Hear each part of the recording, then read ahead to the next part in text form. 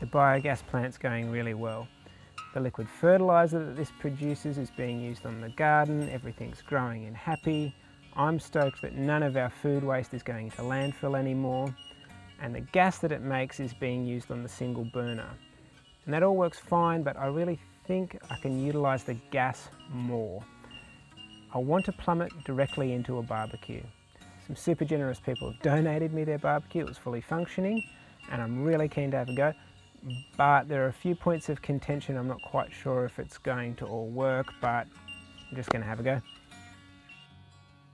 First things first, just want to take it apart, see what I'm dealing with, see if anything's broken, have a good look over it.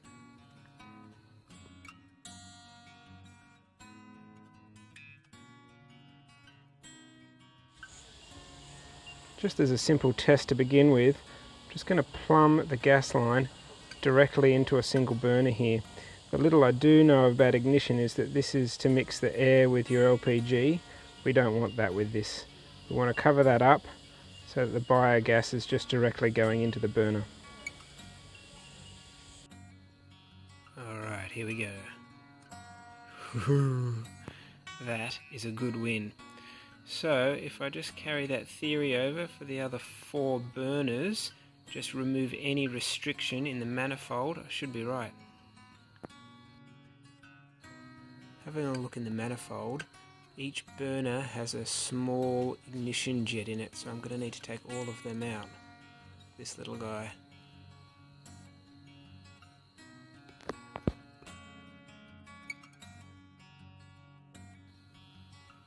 At the inlet side of the manifold is the main gas line with a built-in regulator in it. I obviously need to get rid of that.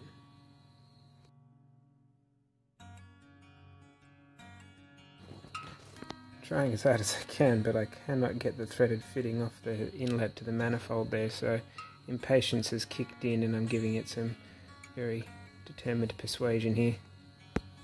I don't like doing destructive modifications, but it had to be done byproduct is gas tube doesn't fit on very well. So before you judge me, it's just to test. I won't keep it like this forever, promise. Okay, I've set them all up, see if it works.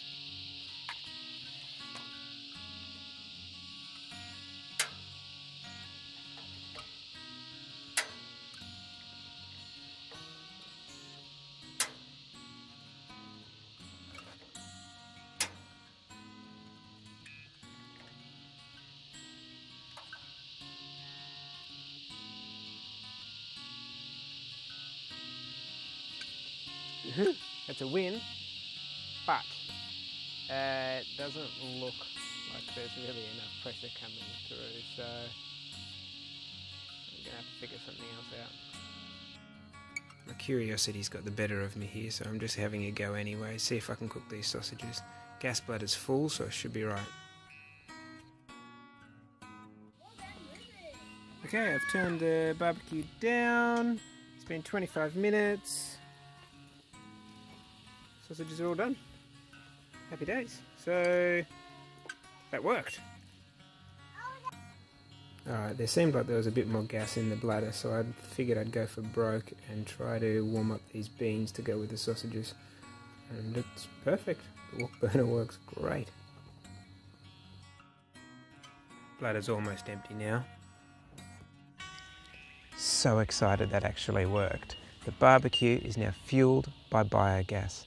When I lit the burners, I didn't think there was enough pressure coming through. The flames didn't look strong enough, but it's fine. That was 35 minutes of burn time for the sausages and beans, two burners and the wok burner. The most I ever use a barbecue is about 45 minutes to an hour, but with all four burners going. I don't think there's enough gas in there. So the weakest link in this system, comparative to an LPG cylinder, is the amount of gas I have stored. I think I can solve that problem. Thanks so much for watching. Hope you enjoy.